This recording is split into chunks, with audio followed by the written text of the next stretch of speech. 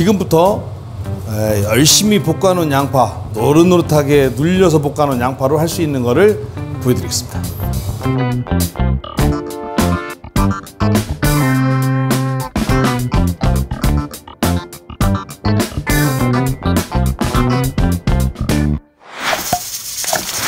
자 이번에는 양파 덮밥 요거 진짜 맛있습니다. 요거는 이제 점점점 업그레이드 돼야 되죠.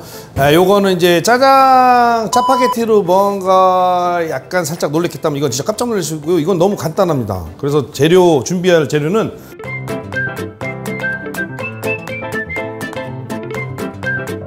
파 없어도 됩니다. 없으면. 예, 갓소부시 없어도 됩니다. 없으면. 요- 요거는. 플러스 알파.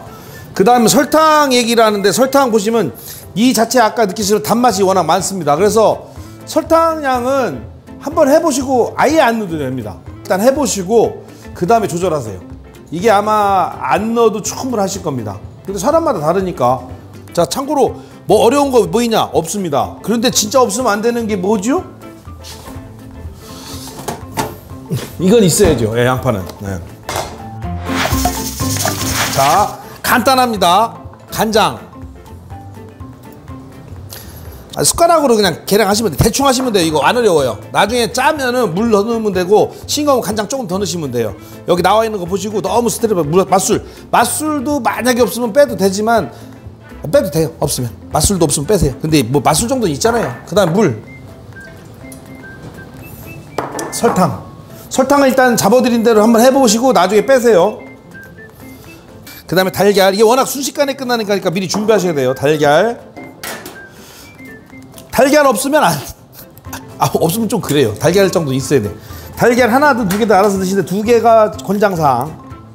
그런 다음에 달걀 적당히 너무 풀면 또 재미없어요. 적당히 풀어 놓으시고. 워낙 순식간에 끝나니까 준비해 놓으셔야 돼요. 이런 다음에 밥. 밥을 준비해서 딱 밥 올라갈 밥은 뭐 식성에 따라서 많이 준비하셔도 되고 자 불 켜시고 이게 뭐 뭐 할 게 뭐 있게요 이 안에 있는 재료만 녹으면 돼요. 예. 한 두어 번 젖어준 다음에 그 다음에 바로 냉동실에서 있던 거 한 덩어리 꺼내요. 딱. 그래서 한 덩어리를 집어 넣는 거예요 이렇게.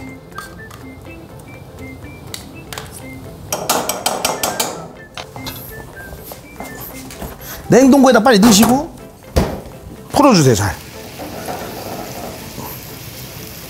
그리고 이 불 조절 잘하세요 너무 세면 날라갑니다 다, 다 이거 그래서 만약에 생각보다 후라이팬이 얇거나 불이 생각보다 세서 어 이게 달걀 넣다가 달걀 후라이가 될 정도로 물이 없어. 그럼 물 보충하시면 돼요. 자 다 풀어졌죠? 금방 풀어졌어요. 이후에다가 그냥 달걀. 파를 지금 넣으셔도 되고 쪽파 같은 경우는 조금 나중에 넣으셔도 돼요. 근데 파는 지금쯤 넣으시는 왜냐면 이 생파 싫어하시는 분이 있으니까 파를 지금쯤 이렇게 싹 위에다가 이렇게. 그래서 지금 끝내셔도 돼요. 많이 드셔보신 분들은 달걀이 너무 익으면 싫어하시는 분 있잖아요. 그건 지금 바로 밥 위에다 버버리시면 되고 에, 나는 생달걀이 싫어 그러시는 분은 달걀이 익을 때까지 조금 기다려 주시면 돼요. 근데 이때도 너무 국물이 없으면 안 되니까 국물이 너무 없어졌다 그러면 예, 물 조금 넣으시면 돼요. 이렇게 섞어 이렇게 퍼지잖아요. 그러니까 이걸 다시 딱 모양 잡아주시면 돼요. 하나도 안 어려워요. 자 됐어요. 자, 이 상태에서 그대로 살짝 밀면서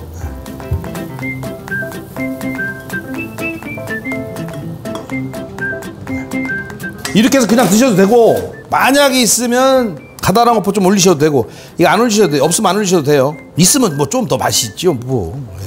맛이 좀 있다는 게 약간 훈연의 맛이 난다고 할까? 이렇게 해서 딱. 금방이죠. 곰탕 끓여놓고 간 거 데워 먹는 시간보다 빠르죠. 먹어볼까요? 자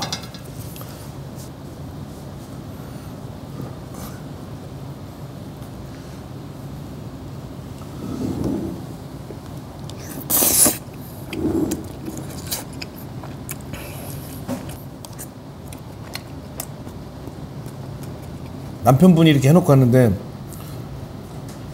어머니나 자녀들은 이거를 해서 먹는 순간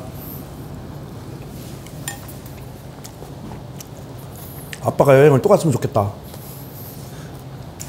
아빠 여행 또 가세요.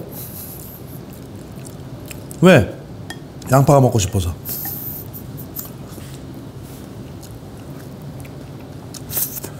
해보세요. 众人。